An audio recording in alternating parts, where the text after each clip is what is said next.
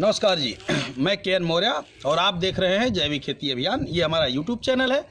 चीज़ें अच्छी लगे तो लाइक करिए शेयर करिए और सब्सक्राइब करिए। मित्रों, आज मैं खड़ा हूँ पंजाब के तरन तारण ज़िले के पट्टी तहसील के अंतर्गत एक गाँव है।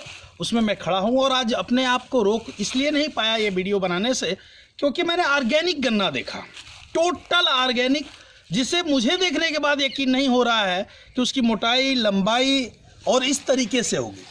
तो मैं आपको ये वीडियो दिखाना उचित समझा इसलिए आज ये वीडियो बना रहा हूँ आइए मिलवाते हैं हमारे किसान से सबसे ਕਾਲ ਵੀਰ ਜੀ ਸਤਿ ਸ਼੍ਰੀ ਅਕਾਲ ਜੀ हमारे किसानों को बताइए अपने बारे में ਸਤਿ ਸ਼੍ਰੀ ਅਕਾਲ ਜੀ ਸਾਰੇ ਵੀਰਾਂ ਭਰਾਵਾਂ ਨੂੰ ਅੱਜ ਤਰੀਕ ਜੀ 23 ਫਰਵਰੀ 2018 ਇਹ ਜੀ ਆਰਗੈਨਿਕ ਗੰਨਾ ਇਹਨੂੰ ਪਿਛਲੇ 5 ਸਾਲ ਤੋਂ ਕੁਝ ਨਹੀਂ ਪਾਇਆ ਰੂੜੀ ਪਾਈ ਦੀ ਜੀ ਇਹ ਇਹ ਖੱਤੀ 'ਚ ਤੇ ਇਹ ਘਰ ਵਾਸਤੇ ਗੁੜ ਤਿਆਰ ਕਰੀਦਾ ਜੀ ਅਸੀਂ ਹੋਰ ਕੋਈ ਖਾਦ ਨਹੀਂ ਕੋਈ ਡਾਇਆ ਨਹੀਂ ਕੋਈ ਯੂਰੀਆ ਨਹੀਂ ਕੋਈ ਕੁਝ ਨਹੀਂ ਪਾਈਦਾ ਜੀ ਰੂੜੀ ਪਾਈ ਦੀ ਆ ਤੇ ਬਸ ਇੱਕ ਚੂਹਿਆਂ ਵਾਸਤੇ ਦਵਾਈ ਰੱਖੀ ਦੀ ਜੀ ये आज हम खड़े हैं तेईस फरवरी दो सन हजार 2018 को इस आज ये हम वीडियो शूट कर रहे हैं मित्रों अ, मैं आपको बताऊं जैसा कि आपने बताया पाँच साल पहले से इसमें कोई खाद नहीं डाल रहे हैं ਨਹੀਂ ਜੀ और लगातार गन्ना ले रहे हैं ਹਾਂਜੀ ਲਗਾਤਾਰ एक गन्ना लगभग रस कितना दे देता है ਇਹ ਗੰਨਾ ਜਿਹੜਾ 10 ਫੁੱਟ ਆ ਉਹ ਤੇ 2 ਲੀਟਰ ਦੇਤਾ ਹੈ ਤੇ ਜਿਹੜਾ 15 ਫੁੱਟ ਹੈ ਇਹਦਾ ਕੱਢ ਕੇ ਵੇਖਿਆ ਹੈ 3 ਲੀਟਰ ਰਸ ਨਿਕਲਦਾ ਜੀ तीन लीटर रस निकलता है ठीक है और एक गन्ने की एवरेज वेट यदि मैं देखूं थोड़ा सा भाई साहब बताइए इसकी गन्ने की वेट क्या होगी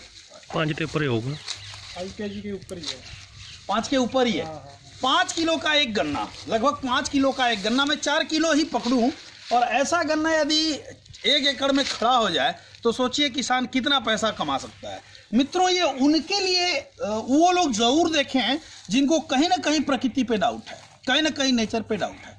प्रकृति के हवाले इन्होंने इस खेत को किया, केवल गोबर की खाद डाली, गन्ना बोया और कंटिन्यू पाँच सालों से ये करते आ रहे हैं। उत्पादन आप देखिए, गन्ने की लंबाई देखिए, मोटाई आप देख लें, बिना किसी खाद के इतनी अच्छी मोटाई हुई है।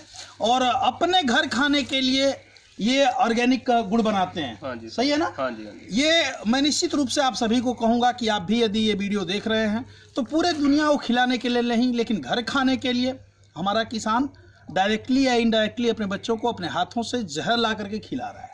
जहर वो लाता है स्प्रे करता है फ़सलों पे और वही फ़सल उसके बच्चे खा रहे हैं।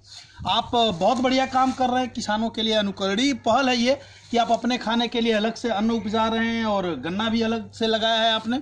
बहुत बहुत धन्यवाद आपको। आप ऑर्गेनिक जा रहे हैं।